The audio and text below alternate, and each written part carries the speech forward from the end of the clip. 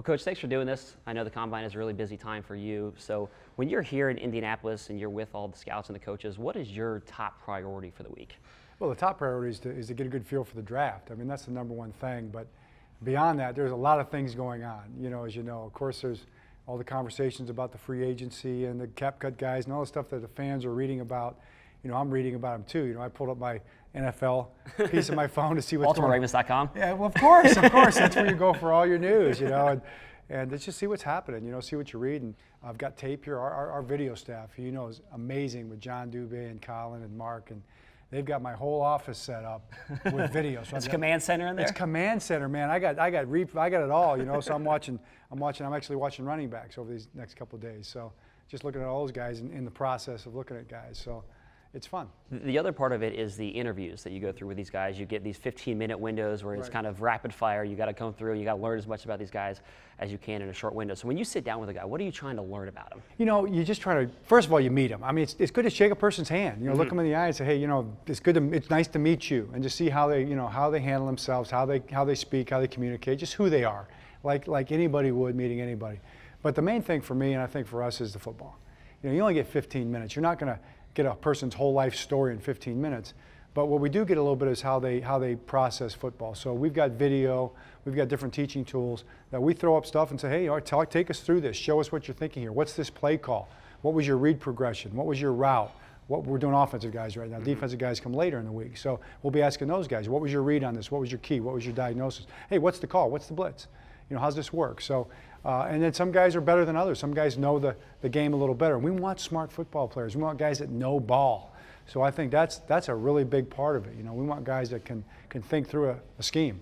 I'm curious when you go through this week, you've been covering the combine, and been here for so many years. What do you take when you see these workouts, you see these interviews, and kind of merge that with what you see on tape? I mean, a guy can come out here and maybe he runs a 4 4, then you look at the tape, you say, I don't know if he's that fast. You know, that's exactly right. Or you look at the tape, and I'll, I'll write sometimes a note says, "I'm not sure how fast this guy is." You know, he looks like a he looks like a he looks like a four seven to me on ta- on tape. Then you'll then you'll get the time. You'll be like, "Whoa, yeah. this guy's why, why does now why does he now is now they say, well, maybe he just doesn't look like he runs fast on tape. Is he pulling away from people, or maybe he just doesn't play that fast? You right. know, that's just you try to do it. And I think it's a it's a great a great book by Malcolm Gladwell. You know, and it talked about basically uh, it's called Blink. You know, talking about kind of thin slicing stuff. I think at some point in time, you've seen so many players. You've seen so many players at every level, whether it's draft, whether it's free agents, whether it's people you play.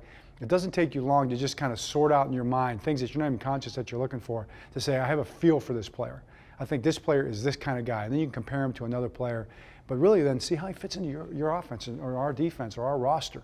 How does this player fit us? Like, can I visualize what he's going to be doing for us and how he's going to help us either stop a team or move the football and score points? Mm-hmm. You know, and that's the thing that I think is it's a little more art in my mind than it is science.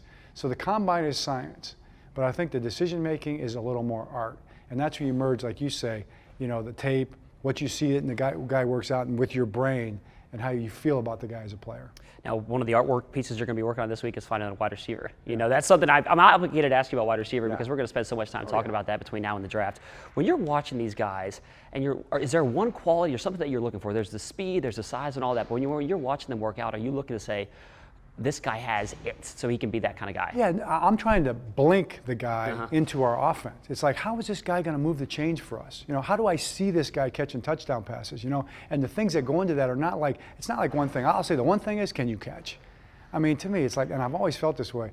If you can't catch, you can't play wide receiver. I mean, what, what are we talking about here? We're throwing the guy, the guy the ball, you know. So he can be as open as you want him to be, but if he's not going to catch it, that's going to be a problem. And our receivers know that because I tell them that every single day too. So you, I want you to be a catcher, but what kind of a catcher? You know, what kind of catches are you making? Are you making radius catches? Are you making adjustment catches?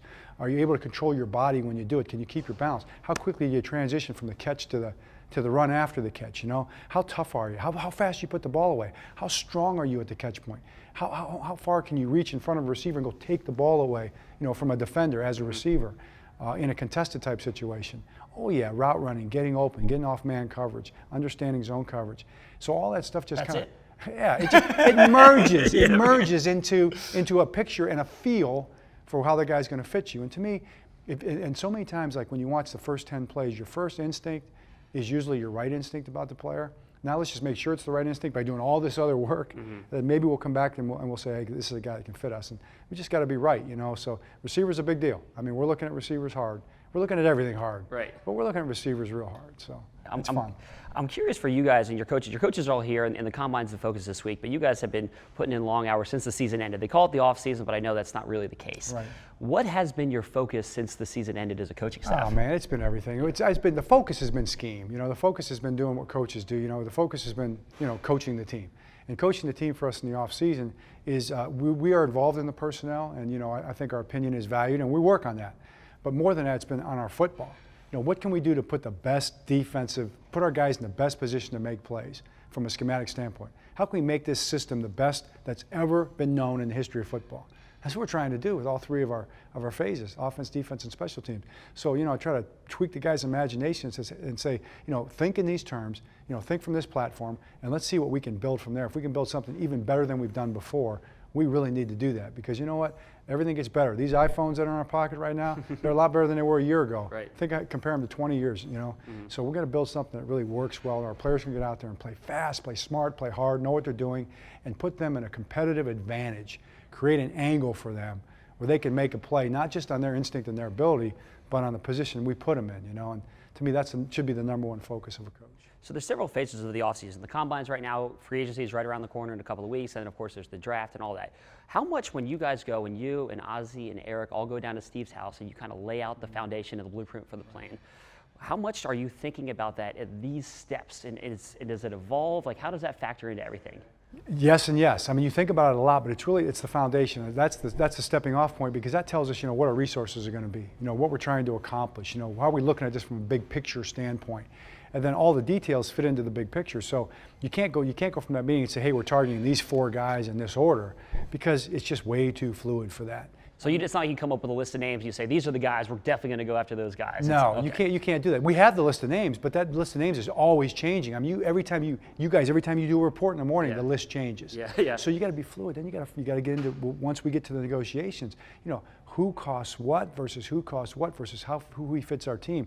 This thing is like it's a, it's a, it's a, it's not even a puzzle. It's like it's like a soup. You mm-hmm. know, you got to kind of put the thing and make it merge and make it fit, taste right. You know, and make it be the best we can be for all the factors that go into it. So you got to be able to kind of hang back, not hang back in the sense of you're not doing anything, work like crazy. I mean, paddle underwater like crazy, and then you know pick your shots and then see what comes to you and see where you can win you know, and that's what we're trying to do right now. So we just need to get, we're not going to get every player, but we need to get the right players for the Ravens, you know, with, with what we can pay them and how they fit us as a football player, you know. So I can't wait to see how it plays out, but like every day, every minute of every day is, you know, you're hungry for news, man. I want to talk to Ozzie, I want to talk to Eric, I want to know where we're at with this, that, and the other. And, and make a few suggestions here and there. And maybe they roll their eyes, you know. They don't. I mean, I think, at least they don't in my face. Um, but I'm pushing, you know, I'm pushing, and, and they're pushing. And uh, we take that plan that we had in Florida, and now we try to execute it. We're going to be excited to see how all that plays out over the next couple of weeks. Coach, thank you very much for your time. Appreciate it, Enjoy the combine here.